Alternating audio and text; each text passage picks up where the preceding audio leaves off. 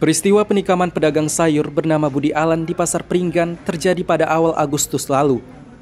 Korban yang merupakan warga Kecamatan Sibolangit, Deli Serdang, diserang oleh tiga preman akibat menolak memberi setoran. Korban ditikam di pelipis dan dada saat berupaya membela diri. Korban kemudian memukul seorang preman yang menyerangnya menggunakan kunci roda.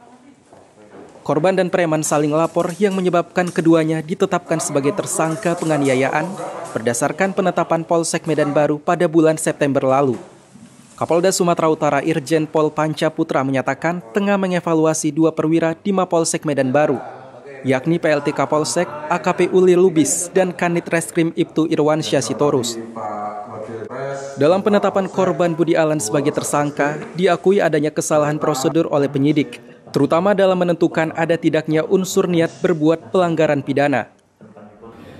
Kapolda menyatakan akan segera menghentikan penetapan tersangka kepada korban Budi Alan. Ya, betul betul. Ada kesalahan prosedur dalam penanganan itu sehingga saya harus mengevaluasi penanganan uh, penyidikannya melalui gelar perkara khusus nantinya. Ada teman-teman tadi saya sampaikan kasus saling melapor ya terhadap sebuah kejadian yang sama Nah ini sudah menjadi fenomena rupanya yang lama di Sumatera Utara ini, tapi ini menjadi PR saya untuk saya lakukan evaluasi ulang terhadap kasus-kasus saling melapor seperti ini. Nah, insya Allah mudah-mudahan dalam waktu dekat kita akan sampaikan keputusan terkait dengan penetapan tersangka yang bersangkutan.